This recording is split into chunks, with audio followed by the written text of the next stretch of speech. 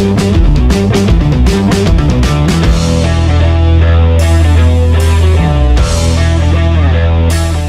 मित्रांनो आपल्या tips in Marathi चॅनलला सबस्क्राईब करा आणि आमची नवनवीन अपडेट माहितीवर व्हिडिओ सर्वात अगोदर पाहण्याकरिता बेल वर क्लिक करा. आज आपण या व्हिडिओमध्ये महत्वाची नवीन बँकिंग अपडेट देणार आहोत. या तीन बँकांमध्ये आपले खाते अकाउंट असेल तर आपल्यासाठी ही नवीन अपडेट अत्यंत महत्वाची आहे. नाहीतर तुम्हाला इनाकारण बँकेचे चार्जेस दंड लागू शकतो. तर कोणत्या आहेत या तीन बँका? नंबर एक बँक ऑफ महाराष्ट्र नंबर दोन कोटक महिंद्रा बँक नंबर तीन ऍक्सिस बँक या तीन बँकेच्या खातेदारांनी हा व्हिडिओ शेवटपर्यंत पहा. म्हणजे आपल्याला संपूर्ण व सविस्तर माहिती मिळू शकेल आणि आपल्याला विनाकारण पैशाचा भूदंड बसणार नाही. कोटक महिंद्रा बँक ऑफ महाराष्ट्र आणि ऍक्सिस बँकेत पुढील महिन्यापासून देवाणघेवाण आणि बँकिंग नियमामध्ये मोठे बदल होणार आहेत. वर सांगितल्याप्रमाणे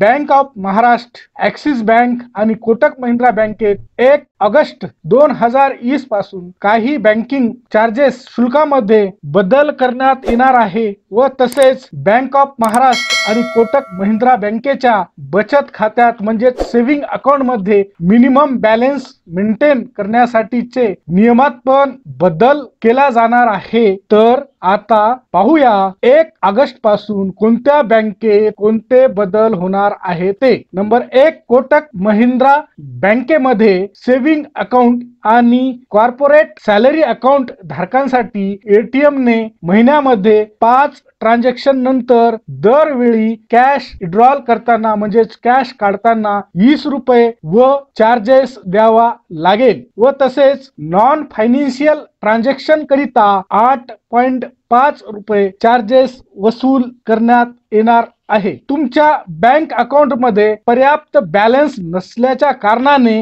मर्चंट आउटलेट किंवा वेबसाईट किंवा एटीएम वर फेल्ड ट्रान्झॅक्शन करिता पंचवीस रुपये फीस वसूल केली जाणार आहे. व तसेच ए एम बी दर महिन्याला अवरेज मिनिमम बॅलन्स मेंटेन नाही केल्यास त्यावर खातेदारांना पॅनल्टी लागेल. हे चार्जेस किती लागणार हे खातेदारांच्या अकाउंटच्या कॅटेगरी नुसार वसूल केले जाणार आहेत. याबरोबरच बँकेतून दर चार ट्रान्झॅक्शन नंतर प्रति ट्रान्झॅक्शन शंभर रुपये विड्रॉल फीस घेतली जाणार आहे. आता नंबर दोन बँक ऑफ महाराष्ट्र बँकेच्या खातेदारांना मेट्रो आणि शहरी भागांसाठी तुम्हाला तुमच्या बँक खात्यात मिनिमम म्हणजेच कमीत कमी दोन हजार रुपये बँकेत बॅलन्स ठेवावेच लागेल. या अगोदर ही आठ पंधराशे रुपये मिनिमम बॅलन्सची होती. दोन हजार रुपये पेक्षा कमी बॅलन्स ठेवले तर महाराष्ट्र बँक मेट्रो आणि शहरी भागासाठी पंच्याहत्तर रुपये दर महा म्हणजे दर महिन्याला चार्ज वसूल करेल. आता निम्न शहरी